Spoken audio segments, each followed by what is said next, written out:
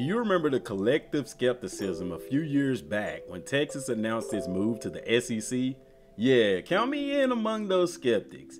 At that point, Oklahoma was ruling the Big 12 roost while Texas seemed stuck in neutral, managing just one 10 win season between 2010 and 2022 compared to Oklahoma's 10 over the same period. But then something unexpected happened. It began to click.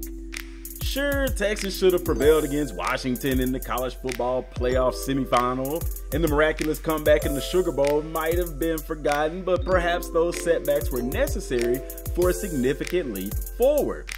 Does this scenario ring any bells? A powerhouse program not quite performing up to par in the college football playoff? No, the 2024 Texas team won't mirror the 2023 Michigan but even in defeat, it showcased its potential to dominate in the coming years. It's like the team had to stumble before finding its stride, gearing up to contend for a national title. Coach Steve Sarkisian swiftly elevated the talent level, infusing NFL caliber talent and speed into the roster, effectively propelling the program to an SEC standard within a few seasons. However, this achievement leaves no room for error. While the Big 12 boasts competitive football, facing off against powerhouses like Georgia presents an entirely different challenge. Texas must navigate this new landscape without faltering, especially with an expanded college football playoff on the horizon. The offensive preview highlights Texas' adaptability, supported by a dynamic quarterback duo in Quinn Ewers and Arch Manning. Despite significant losses in the receiving corps, Strategic transfers and seasoned veterans offer promise for a potent offense. On the defensive front, the addition of Johnny Nansen strengthens an already formidable unit. While there are areas for improvement, particularly in generating a more effective pass rush and shoring up the secondary, Texas boasts talent and depth across the board.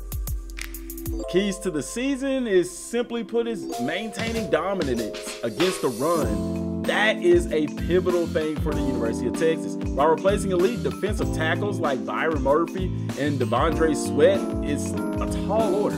Texas must ensure its run defense remains stout to contend effectively. Some key players, and guys, I might butcher this guy's name, but defensive tackle, I, am not even gonna say his first name. His even last name, Savea. I can't, I'm not gonna butcher his first name. All right, and Bill Norton will play a crucial role in anchoring the defense. While they may not replicate the feats of their predecessors, their contributions are instrumental to Texas' success. And in the top transfer in and you know some of their biggest losses out, edge rusher Trey Moore emerges as a standout addition poised to make significant impact. Conversely, the departure of cornerback Terrance Brooks leaves a void in the secondary, albeit one that Texas can manage. The key game this year, the matchup against Michigan holds significance as a limited test for Texas prowess. A victory here would set a positive tone for the season, providing momentum for the daunting challenges ahead. In summary, Texas enters the 2024 season with high expectations, but must navigate a rigorous schedule and and with precision to secure, secure a spot in the college football playoff. While the road ahead is fraught with challenges, Texas possesses the talent and determination to emerge as a formidable contender.